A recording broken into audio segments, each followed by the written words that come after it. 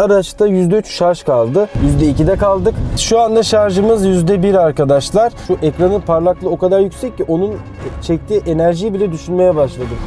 Ya ne ne? Ya bu ne abi? Bu buraları engellemişler, bir şeyler yapmışlar. Merhaba Shift Net izleyenleri. Bu videomuzda %100 elektrikli Smart EQ Fortu'yu inceliyoruz. Ayrıca elektrikli bir arabayı kullanırken İstanbul'da nasıl bir deneyimle karşılaşıyorsunuz? Yaşadığınız zorluklar neler? Onları da bu videoda bir vlog tadında sizlerle paylaşacağız. Şu anda araçta %3 şarj kaldı ve 1.3 kilometre ötede Kanyon'un otoparkında şarj istasyonu var otomobili bakalım 1.3 kilometre öteye %3 şarjla götürebilecek biz. Ondan sonra arabayı şarj edeceğiz ve deneyimlerimizi sizlerle paylaşmaya devam edeceğiz.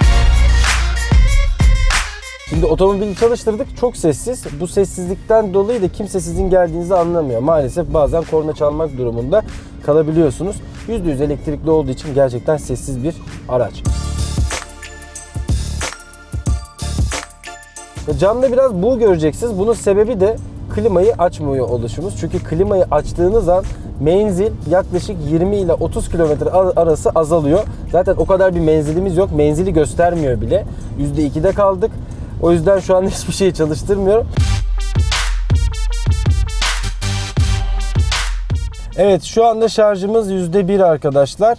Burada genel tüketimi görüyorsunuz. Eğer buradaki güç ibaresi sola doğru gidiyorsa aracınız şarj oluyor. Yani yokuş aşağı inerken, fren sıkarken araç şarj oluyor. Buradan ibare sağa doğru geçtiğinde ise sizin ne kadar güç tükettiğinize e, tekabül ediyor. Biz şu anda zaten trafikteyiz. Yavaş yavaş ilerliyoruz. Şarjımız da %1. Yani az da kaldı. Ufukta kanyonu görüyoruz ama içimde bir ürperti var. %1 şarj seviyesi devam ediyor. Az bir süre kaldı. Hakikaten %0'ı gördüğümüzde ne olacak bilmiyorum. Yani büyük ihtimalle duracak araba. Ama hani yedek rezerve biraz güveniyorum. Ya da iPhone'lardaki o %1 var ya biraz gitmeye devam ediyor. İnşallah iPhone'un %1'i gibidir. Yani öyle olmasını umuyorum. Yoksa iteceğiz arkadaşlar. Zaten hafif bir araba. Bir ton ağırlığında. Hafif derken hani diğer arabalara göre, otomobillere göre hafif. Boyutuna göre düşünecek olursanız ağır bile gelebilir belki. Hani çünkü yarım araba boyutlarında. Bakalım. Yani geldik sayılır. Buraya kadar da kanyona kadar da iteriz. En azından garajdan aşağı kolay iner. Abi şansımıza öyle bir trafiğin içine düştük ki şu ekranın parlaklığı o kadar yüksek ki onun çektiği enerjiyi bile düşünmeye başladım. Yani bayağı bir güç tüketiyor gibi parlak bir ekranı var. Abi? Yani onu henüz kısamadım, bulamadım şeylerinden, ayarlarından. Bir silecekleri de kapattın abi. Her şey kapalı, teyp kapalı, her şey kapalı. Hani yüzde bir zaten ötesi yok. Bakalım yani ama şu anda bu ışıkları da atlatırsak, bir daha bir trafiğe kalmazsak ileride sağdan kanyona giriyoruz. Yani demek ki %3 şarjla trafikli ortamda yüzde bir buçuk kilometre falan gidebiliyormuşsunuz.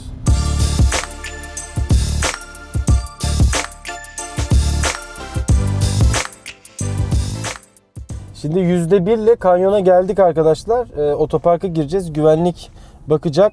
Bu arabada sevdiğim bir yan güvenlikler bagaja bakma gereği duymuyor. Orada bir düğme var. Şimdi bulamayacak camı nasıl açacağını. Bir yardım edeyim ona. Heh buldu.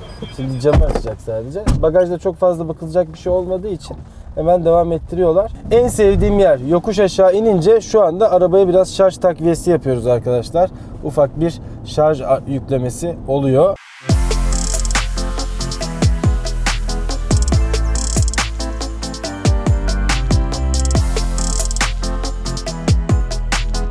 İşte şarj noktası.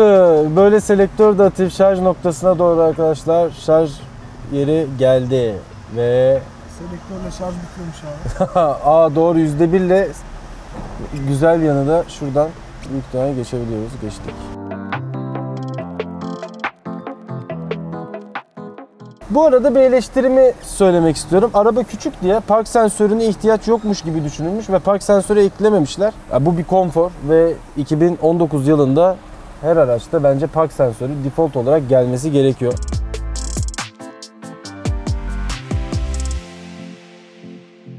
%1 şarjla geldik yaklaşık %3 şarjla 1,5 kilometre gidip kanyona geldik arkadaşlar ve aracı şarj edeceğiz.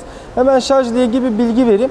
Eğer şarj istasyonundan şarj edecekseniz yaklaşık 45 dakika içerisinde %15'ten %80 seviyesine kadar şarj oluyor. Yani hızlı bir şarj performansı sergiliyor. 1 saatte şarj ettiğimizde araba %100 neredeyse şarj olacak. Eğer hızlı şarj yeri bulamazsanız 220 volttan çevirici adaptör de var. Normal prize taktığınızda da şarj edebiliyorsunuz ama bu sefer süre 6 saate kadar uzuyor.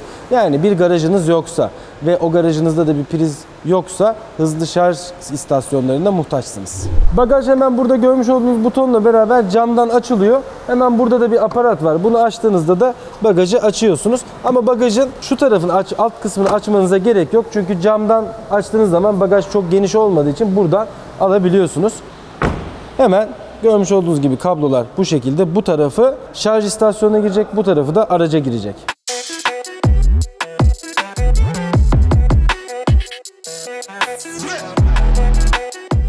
Burada enerji tipini seçiyorsunuz arkadaşlar. Kablolar takılıysa ve her şey hazırsa start diyorsunuz ve hemen burada zamanı ve enerjiyi görebiliyorsunuz. Şu anda saat 12.42 geçiyor ve arabanın şarjı %1'di. Bakalım ne kadar sürede aracı ne kadar hızlı bir şekilde şarj edeceğiz. Uygulamalı bir şekilde sizlere göstereceğim.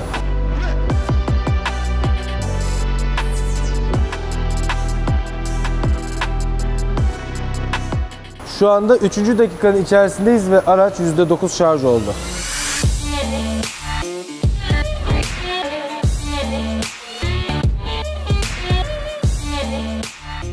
55 dakikada %88 seviyesinde şarj oldu. %1'di biliyorsunuz takmadan önce.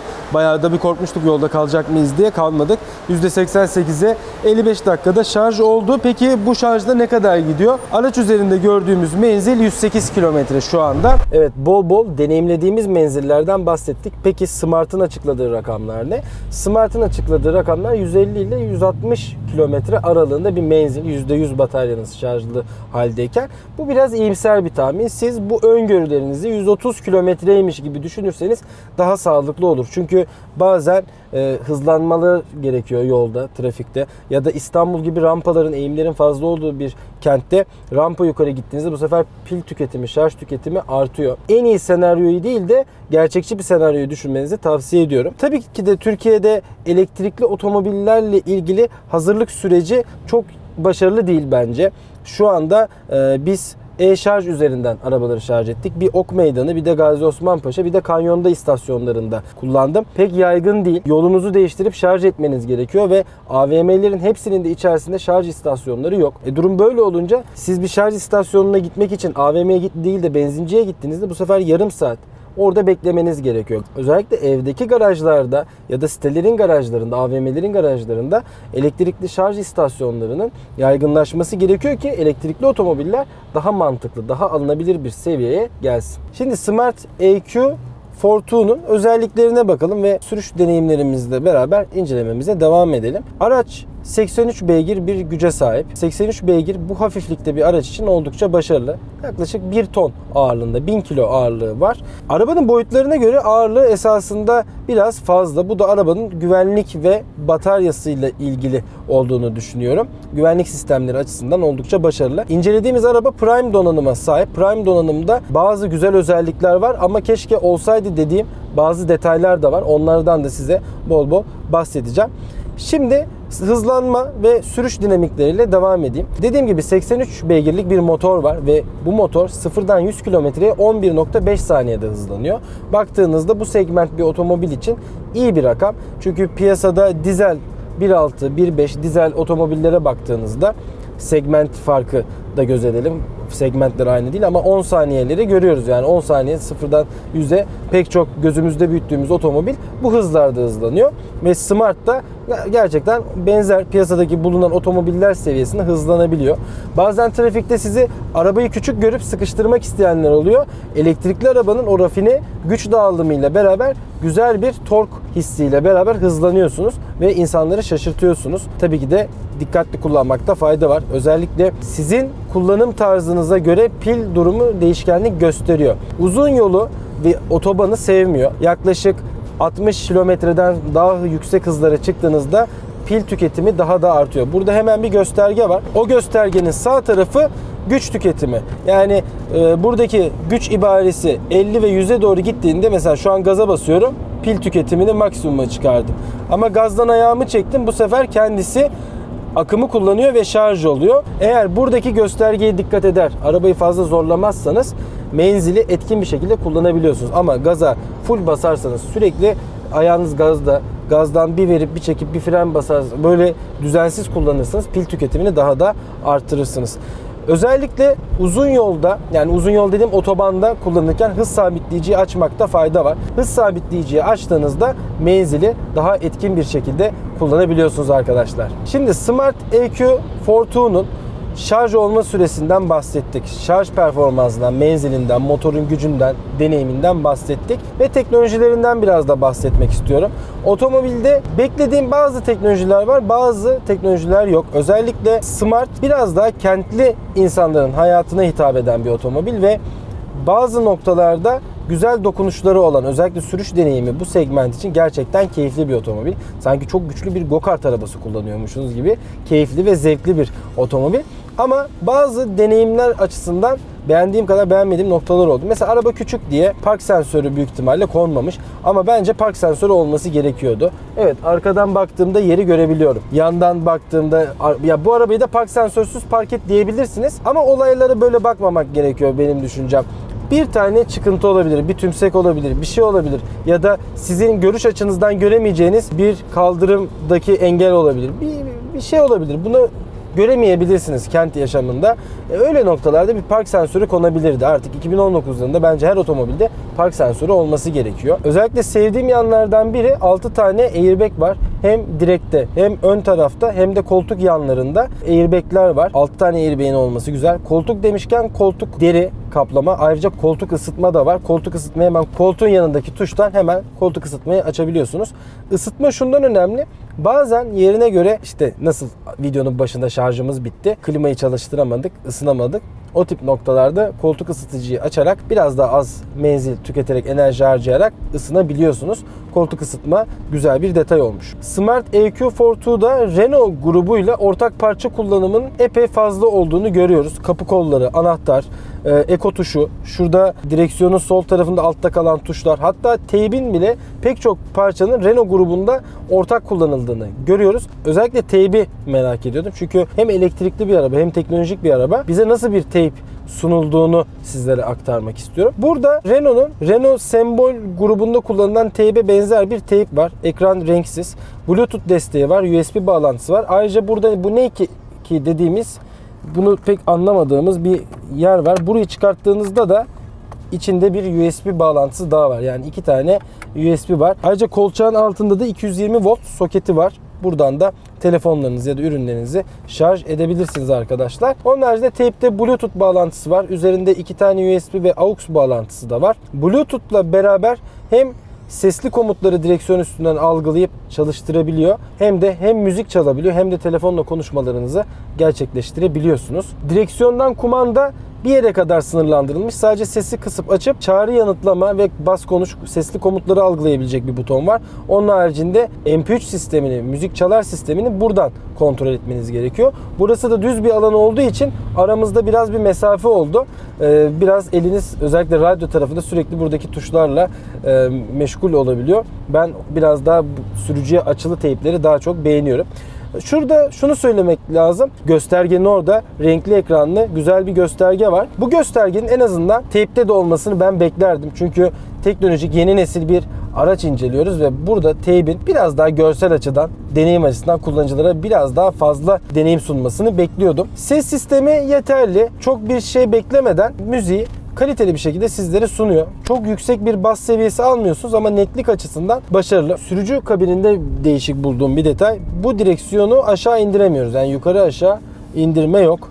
Onu pek beğenmedim. Hani bu direksiyon bana biraz yüksek kaldı. Biraz daha aşağı indirsem güzel olabilirdi. Alışıyorsunuz ama onu da söylemem lazım. Bir diğer detay ön tarafta led ve arka tarafta ledler var ama far halojen ampul. Bence elektrikli otomobillerin halojen ampul yerine led aydınlatmayla geliyor olması lazım. Çünkü hem pil tüketimine avantaj sunuyor ledler hem de görüntüyü çok daha teknolojik hale getiriyor. Ne olursa olsun halojen ampuller eski otomobil teknolojisinin bize sunduğu bir teknoloji. Hem fazla güç tüketiyor hem de aydınlatma tarafında belli bir performansa sahip. Bu otomobilin aydınlatma performansı kötü değil. Zaten küçük bir otomobil ve iki tane halojen far yeterli bir şekilde aydınlatma sunuyor. Ama böyle bir araçta halojen far olmayıp led aydınlatma olsaymış daha şık olurmuş, daha güzel olurmuş. Hem de pil tüketimine daha büyük bir artı katarmış. Evet herkesin merakla beklediği noktaya geliyoruz fiyatına. Aracın fiyatı 156 bin TL. Tabii ki de 156 bin liraya çok daha farklı otomobiller alabilirsiniz. Bu size daha çok kent hayatında günlük kısa mesafeler kullanan insanlara yakıt parası ödemeden elektriğe nispeten akaryakıta göre çok daha uygun fiyatlar ödeyerek kullanma imkanı sunan şehirli bir insanın ikinci arabası gibi bir otomobil. Avrupa'da özellikle bu tarz smart arabalar çok fazla kullanılıyor. Çünkü niye? Avrupa'da evlerde daha çok iki araba oluyor, üç araba oluyor. Evin ana arabası olacak boyutta değil ama evin ikinci arabası olacak ve günlük 50-60 kilometre menzilleri çok rahat bir şekilde çıkartabilecek bir araba. Ben İstanbul'da kullanırken benim menzilim biraz fazla olduğu için sürekli şarj etmek durumunda kaldım. Neden? Çünkü ben Ataşehir'de oturuyorum. Ataşehir'den 4 Levent'e git gel ve gün içerisinde bazı yerleri de gezerek bu menzil bana tam yeterli gelmiyor. Sürekli bir gün içerisinde de bir ya da iki kere şarj etmem gerektiği anlar oldu. Bu noktalarda Türkiye'de de şarj istasyonlarının çok yeterli olmadığını düşünecek olursak günde 70-80 kilometre menzil yapan kullanıcıların çok işine yaramayacak diyebilirim. Ya da sürekli şarj etmeyle uğraşacaksınız. Şarj etme eğiliminde olacaksınız. Bunu söyleyebilirim. Ama günlük kullanım menziliniz 30 kilometredir, 50 kilometredir. Şehrin içerisinde ben park yeri aramak istemiyorum. Keyifli, rahat bir şekilde gidip gelmek istiyorum. Belki evin ikinci arabası olarak alışveriş yapmaya gideceğim. Oraya gideceğim, buraya gideceğim. Arkadaşlarımla görüşmeye gideceğim dediğiniz noktalarda güzel bir seçenek olabilir. Özellikle kent hayatında gerçekten pratik bir araba. Hem çok güzel dönüyor, hem yol tutuşu çok güzel, hem park yeri sorunu yaşamıyorsunuz. Bu arabayı hakikaten dik olarak park ediyorsunuz. Ben ettim, dik olarak park ettim. Ee, gerçekten park yeri açısından oldukça e, güzel. Evet arkadaşlar artılarıyla eksileriyle Smart EQ'yu deneyimledik. Bu deneyimlerimizi de videoda paylaştık. Özellikle Türkiye'de elektrikli otomobil kullanma konusunda ne durumdayız? Biraz bu videoda ondan da bahsetmek istedim. Bu yüzden şarj istasyonu sorununa da değinmek istedim. Yani Türkiye'de şu anda elektrikli araçlara tam hazır değiliz. Her yerde benzin istasyonu var ama her yerde şarj istasyonu yok. Ve 220 volttan yaptığınız şarjlarda da 6 saate varan çok ciddi süreler var. Evinizde garajda 220 volt portu varsa gece uyurken tabii ki de arabayı şarj edebilirsiniz. İçeride e, arabayla beraber bir 220 volttan çevirici adaptör de veriliyor. O kitle beraber her yerden şarj edebiliyorsunuz. Ama dediğim gibi gün içerisinde umulmadık bir yerde şarjınız bitmeye yakın olduğunda hızlı şarj istasyonu yoksa orada sorunlar yaşayabiliyorsunuz. İspark'ın yaklaşık 6 tane araç şarj istasyon noktası var. E-şarjın bazı noktaları var. Ama dediğim gibi bunlar AVM'lerin hepsinde yok. Her benzin istasyonunda yok. Bazı aralıklı alanlarda var. Bu yüzden şarj konusunda dikkat etmek gerekiyor. Boyutlarına göre Smart'a bazen ön yargıyla yaklaşılabiliyor ama binmeden, kullanmadan bazı şeyler anlaşılmıyor. Gerçekten zevkli bir araba. Geniş bir araba. Yani bu boyuta göre iki kişi çok rahat bir e, yaşam alanı iki kişiye sunuluyor keyifli bir şekilde yolculuk edebilirsiniz. Normal otobanda 120-130 km hızla giderken size bir güvensizlik uyandırmıyor. Frenlemesi de bayağı iyi. Önler disk, arkalar kampana. Frenlerinde de bir güvensizlik olmuyor. Ya da araba virajlarda çok fazla bir savrulma eğiliminde değil. Gerçekten yol tutuşu, performansı güzel, rafine bir araba. Maksimum hızı 130-140 km arasında. Zaten çok çok fazla hızlandığınız zaman pil tüketimini de inanılmaz derecede arttırıyorsunuz. Smart EQ'nun en keyifli hızları 50 ile 70 arası. Bu hızlarda özellikle şehir içi ayarlamalarında araç gerçekten az enerji tüketiyor. Ama uzun yola çıktığınızda ya da otobana çıktığınızda bu sefer 90'ları 100'leri çıktığınızda pil tüketimi artıyor ve dışarıdan alınan ses artıyor. Motorun hiçbir şekilde sesi çıkmasa da dışarıdan gelen sesleri duyuyorsunuz. Evet arkadaşlar Smart EQ Fortu'yu denedik, deneyimledik. Deneyimlerimizi de sizlerle paylaştık. Ee, şehir içi için güzel bir araba, keyifli bir araba. Hem e, akaryakıt derdinden kurtulacaksınız. Hem de şehir içinde hem park yeri sorunu olmuyor hem sürmesi çok keyifli. Fakat benim güzergahım gibi işte Ataşehir'den Levent'e ortalama 25 kilometre gidip 25 kilometre gelip çevre yoluna çıkıp ve çevre yolunda da bazen hızlı gideceğiniz noktalarda arabanın pil tüketimi de artıyor ve menzil bu sefer yetmemeye başlıyor. Çünkü 125 kilometre gerçekçi menzil olsun diyelim. 125 kilometreye ne kadar yaklaştıkça bu sefer arabayı şarj etmeniz gerekiyor içgüdüsel olarak. Nasıl telefonlarda %30'da rahatsız olmaya başlıyorsunuz. Telefonu şarja takmam gerekiyor diyorsunuz. Aynı şekilde otomobilde de var. Sürekli orada pil ibresini görüyorsunuz ve ben ne zaman şarjı takacağım diye düşünüyorsunuz. Bu sefer planlarınız şarja göre değişiyor. Ben bir şuraya geçeyim, bir uğrayayım, orada şarj edeyim demeye başlıyorsunuz. Bu tamamen sizin günlük kullanımdaki menzilinizle ve beklentilerinizle alakalı. Eğer bu menziller sizin için uygunsa keyifli bir şehir içi otomobili olduğunu söyleyebilirim. Artıların eksilerini de sizlerle paylaştım. Tercih sizin. Şu anda kendi arabamı kullanmış olsaydım buraya park edemezdim. Ama şu anda Smart EQ'yu bu aralığa park etmiş bulunmaktayım. Videonun da sonuna geldik. Yorumlarınızı merak ediyorum. Türkiye'de hem elektrikli araçlara ne kadar hazırız? Sizin görüşleriniz ne? Bu arabayla ilgili görüşleriniz neler? Hepsini yorumlara yazmayı unutmayın arkadaşlar. Bir başka videoda görüşmek üzere. Hoşçakalın.